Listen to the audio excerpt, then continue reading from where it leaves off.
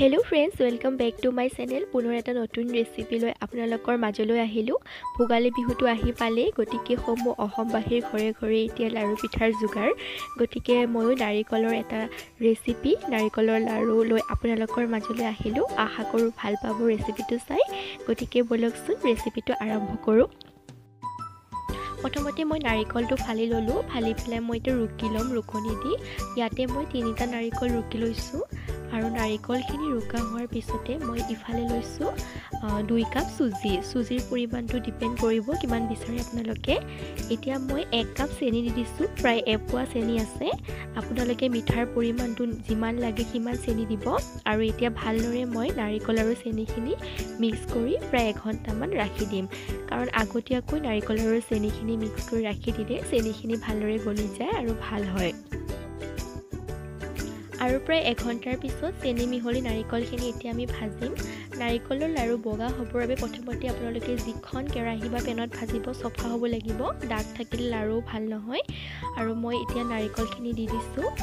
আৰু দি দিয়াৰ পিছতে মই লাহে লাহে নাৰিকলখিনি ভালদৰে লৰাই লৰাই ভাজি যাম। আৰু আপোনালোকে ধ্যান ৰাখিব যে জুই একদম কমাই ৰাখে গেছৰ ফ্লেমটো।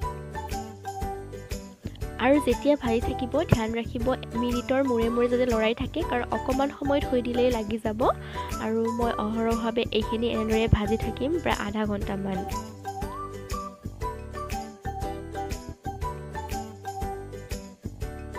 আৰু দেখিছেই মই নাৰিকলখিনি অকণমানো লাগি যাবলৈ দিয়া নাই একেবাৰে বহুৱাৰ পৰা লৰাই আছোঁ আৰু জুইটো একদম কমাই ৰাখিছোঁ।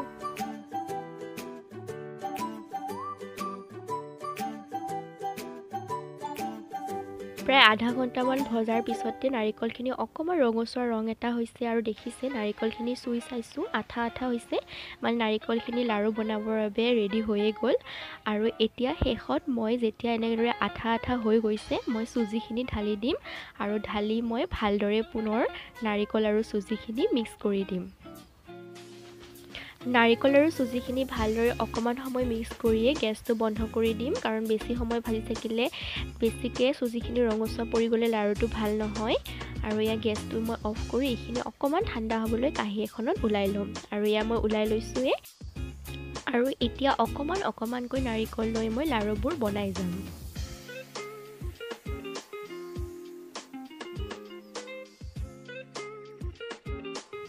আৰু মোৰ প্ৰথমটো লাড়ু ৰেডি হৈয়ে গ'ল আৰু এনেদৰে মই গোটেইখিনি লাড়ু ভালদৰে বনাই ল'ম আৰু শেষত মই আপোনালোকক মোৰ লাড়ুখিনি দেখাম।